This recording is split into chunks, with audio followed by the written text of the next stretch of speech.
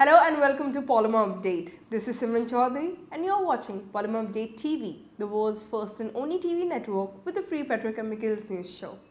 Our special news reel today is sponsored by Pune-based Shini. Let's start with energy news. Crude futures inched higher on Tuesday on the back of surprise drop in US crude and gasoline inventories. WTI prices climbed at $56.87, a gain of 8 cents per barrel while Brent finished at $66.67, a rise of 9 cents per barrel. According to Vandana Hari of Vanda Insights, crude prices were higher once again in the Asian morning, albeit marginally after an industry body reported an unexpected decline in US crude inventories for last week. The upward momentum was being countered by investor concerns over fresh Brexit uncertainties reflected in a sea of red ink across the early opening Asian equity markets.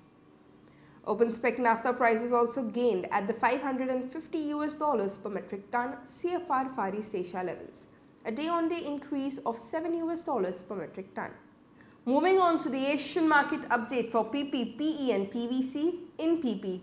PP prices climbed in Far East Asia and India by 5 to 10 US dollars per metric ton this week. Prices gained mainly on account of stronger import offers from overseas suppliers and deals concluded at higher price levels in the region.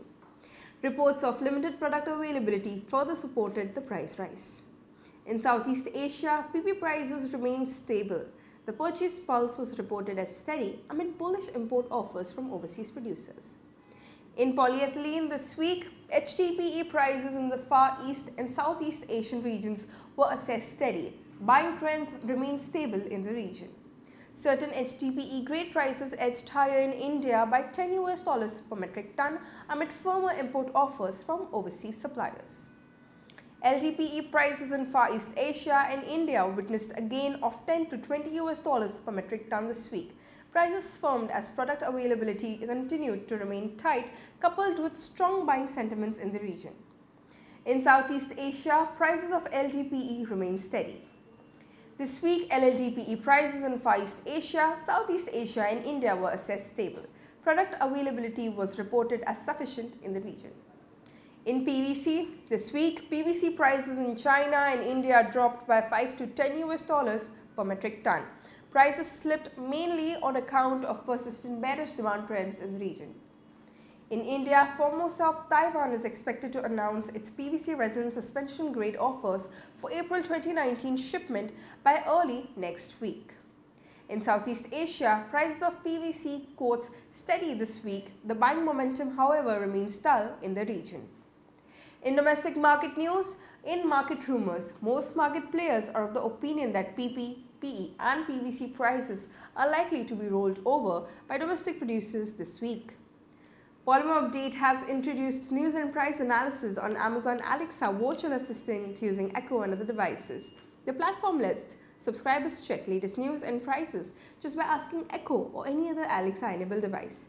This is the first of its kind on Amazon Alexa, so do read the kind of questions that you can ask to Amazon Alexa about Polymer Update. Our special news reel today is sponsored by Pune-based Shini, a globally renowned company with an excellent track record offering the best in customer satisfaction. The company offers plastics auxiliary equipment designed and manufactured using its 50 years of experience in the field. That's all for today's Polymer News. Watch our daily news video tomorrow to know more. It is Wednesday, March 13th. I am Simran Choudhary. Thank you. Find us on Facebook at facebook.com slash polymerupdate and be sure to click the like button. You can also find us on Twitter at polymerupdate. For the latest news from the plastics and petrochemicals industry, subscribe to our YouTube channel and do not forget to hit the bell icon.